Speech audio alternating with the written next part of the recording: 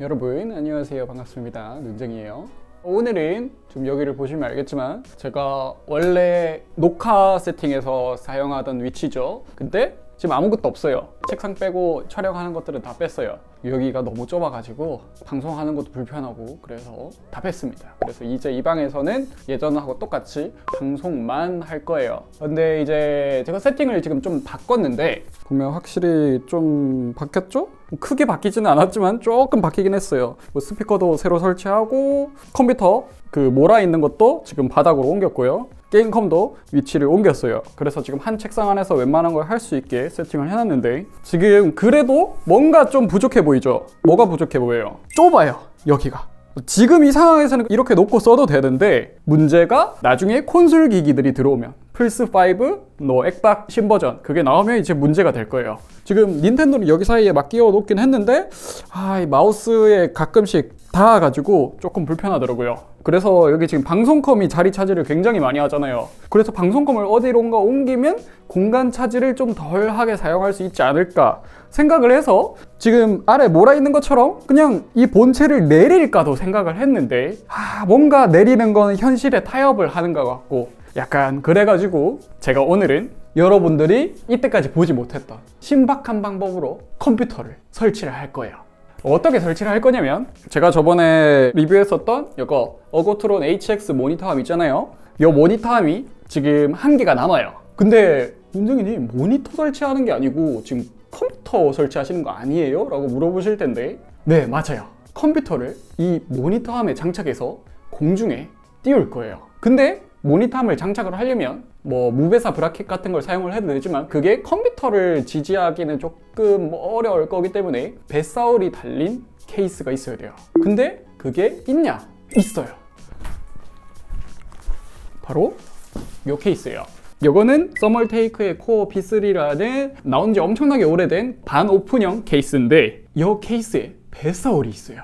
그래서 오늘 이 케이스를 가지고 여기 있는 컴퓨터를 여기다가 전부 옮겨서 설치를 한번 해볼게요 오. 아. 오늘은 컴퓨터 조립을 어디서 할 거냐 네, 원래처럼 저렇게 막 책상 위에 올리고 녹화 세트까지 가서 안 할 거고 여기서 할 거예요 편하잖아요 이. 조립할 수 있는 공구는 여기다 세팅을 하고요 그럼 일단 이 케이스에 있는 컴퓨터 부품부터 다 뺍시다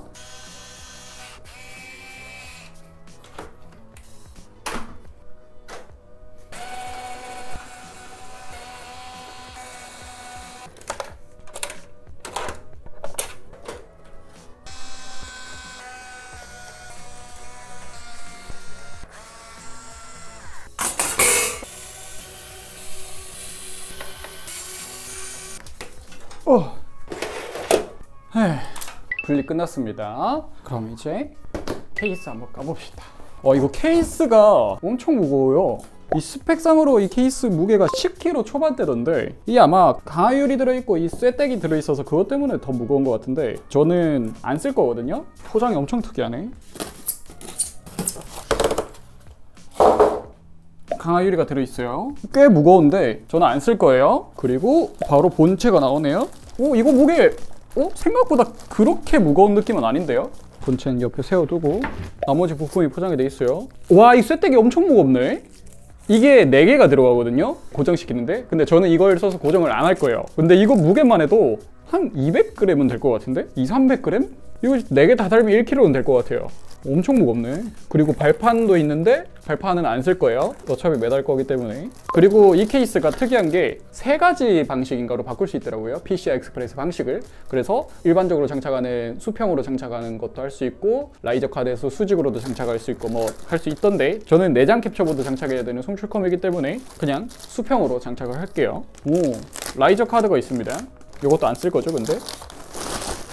음 뒤에 보시면 보이죠? 배설 여기가 75mm 여기가 100mm 그리고 여기 옆에 아마 120mm일 거예요 그래서 딱 장착하기 좋게 돼 있어요 그리고 옛날 모델이라서 좀 얇지 않을까 걱정했는데 튼실하네요 그리고 코팅도 어? 저번에 NZXT H1? 그거랑 비슷? 아 비슷하진 않고 약간 좀 다르긴 한데 그런 류 느낌이에요. 그리고 고무 quality는 이게 넣었다 뺄 때 이쪽 끝부분이 안 움직이게 이렇게 얇게 만든 것 같아요. 이렇게 봤을 때는 구려 보이지만 케이블 다 장착하면 괜찮을 거기 때문에 얇게 하는 것도 나쁘진 않아 보여요. 그리고 전원 버튼, 그리고 USB 3.0 포트 2개, 2.0 포트 2개, 오디오 단자 2개에다가 이거는 리셋 버튼 하고 전원 LED, 하드 LED 해가지고 있을 건 다 있어요. 그리고 여기는 3열 420mm까지인가 아마 달 수 있을 거예요. 여기에 라디를 그리고 뒷판내를 열어봅시다.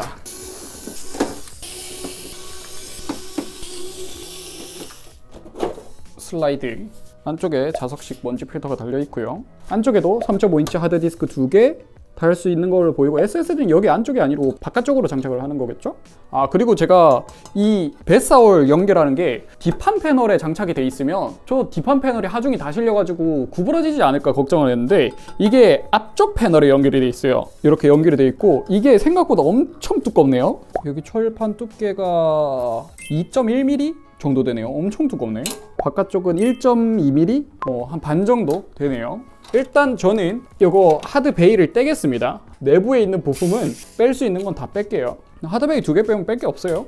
일단 설명서를 보면 파워를 장착할 수 있는 방법이 나뉘어져 있네요. ITX 보드면 세워서 장착을 할 수 있고 ATX 보드면 우리 일반적으로 파워 설치하듯이 장착을 할수 있어요. 여기에다가. 어 그리고 밀리수가 있네요. 파워 200, 180, 160, 140 해가지고 길이별로 해서 딱 맞춰서 장착을 하는 것 같아요. 어 여기 도장 나가 있네요. 여기 보시면 도장이 벗겨졌죠? 괜찮아요. 뭐 이 정도쯤이야. 어, 그리고 조립 설명서가 그렇게까지 친절하진 않은 것 같다. 일단 이거부터 장착합시다. 여기도 도장이 나가 있네. 여기 보이죠? 여기. 이 파워가 몇 미리 파워였지? 미리수에 맞게 설치를 해야 되는 것 같거든요. 140 설명서가 뭔 나사를 써야 되는지가 안 나와 있으니까 헷갈린다 요거를 여기 왜 고정시키라고 하는 거지? 요거 요거를 여기 위에 고정시키래요. 왜 있는지는 모르겠어요. 근데 뭐 고정시키라니까 고정시키는 게 맞는 거겠죠? 됐습니다. 보드를 장착을 하래요. 보드는 지금 요거 standoff가 장착이 안 돼 있죠? standoff는 여기 들어 있어요. ATX, micro ATX, ITX 해가지고 있는데 우리는 ATX 보드를 장착을 할 거니까 A 부분에만 전부 다 장착을 하면 되겠죠. 장착을 하고요. 이게 들어 있어요. 드라이버를 이용해서 조일 수 있는 게 이거를 여기에 끼워주고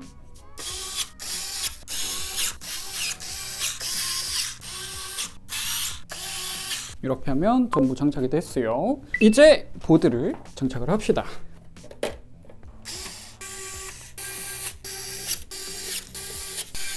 보드는 장착을 했고 이제 수냉쿨러 장착을 해야겠죠? 수냉쿨러를 어떻게 장착을 할까? 어떻게 장착을 해야 이쁠까? 위로는 좀 돌려야 되려나? 이렇게 할까? 요렇게네 각 딱 나오네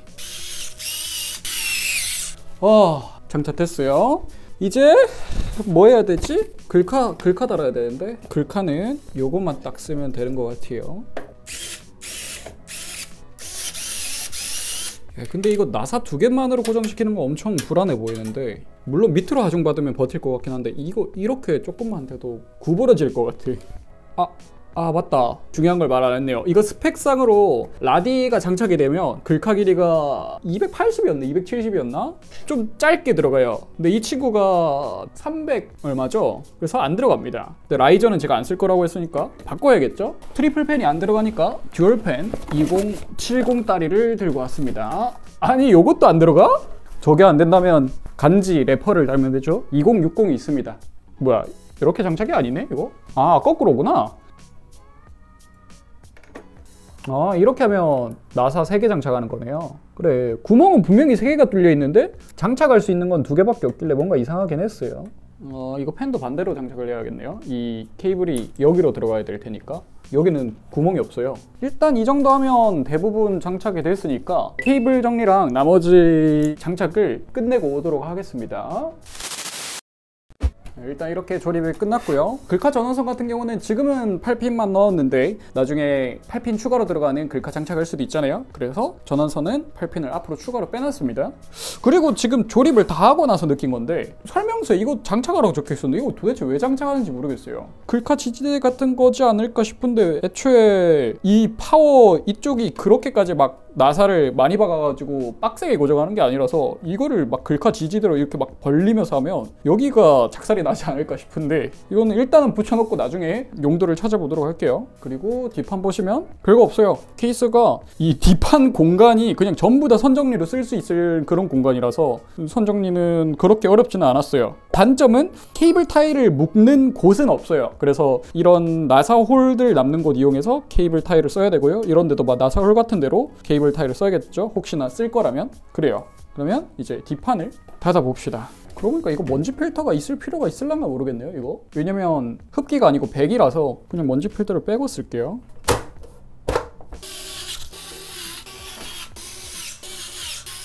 뒷판도 장착이 끝났고 이제 핵심입니다. 모니터함을 장착을 해야죠. 여기 확장할 수 있는 게 있어가지고 확장을 해서 달아도 되는데 그냥 이것만 달았어도 크게 문제 없을 것 같으니까 이것만 장착을 하도록 할게요. 요거 요 나사가 이 나사로는 장착이 안 되네. 더 두꺼운 걸로 되네요. 이거 할라나? 요거네요. 어, 제일 두꺼운 걸로 해야 되네. M6 나사를 사용을 해야 돼요. 야 근데 이게 여기 안 들어가는데? 잠시만요. 이거를 확장 브라켓을 이용해서 장착을 해봅시다. 여기는 이게 구멍이 들어가네요.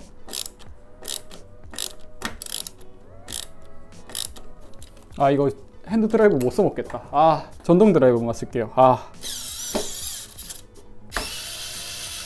야, 역시 전동 드라이버가 짱이다.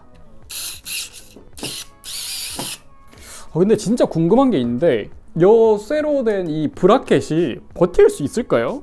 이 무게를? 아무튼 일단 장착은 했습니다. 이건 장착했으니까 이제 아랫부분을 책상에 장착을 하러 갑시다. 근데 하나 걱정이 뭐냐면 모니터 암은 버틸 텐데 책상이 버틸 수 있을까? 사용하다가 나중에 책상 부러지는 거 아니야? 오, 됐어 됐어 컴퓨터가 이렇게 공중에 떠 있습니다 오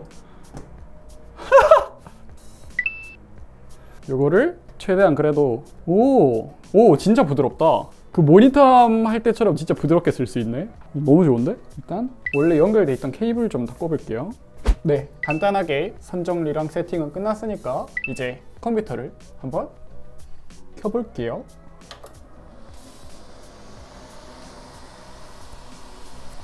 오, 오, 여러분 잘 켜집니다. 이거 이제 본체 이렇게 있는 상태에서도 막 이렇게 움직일 수도 있고 밑으로 위로도 할 수 있고 막 어? 다 할 수 있습니다. 여기 좀 이렇게 눕힐 수도 있어요. 이건 나중에 좀 써보고 좀 마음에 드는 위치를 찾아서 놓는 걸로 하고 오늘은 이렇게 완벽하게 세팅이 됐습니다. 어, 생각했던 거의 그대로 설치가 됐어요. 아주 기분이 좋네요.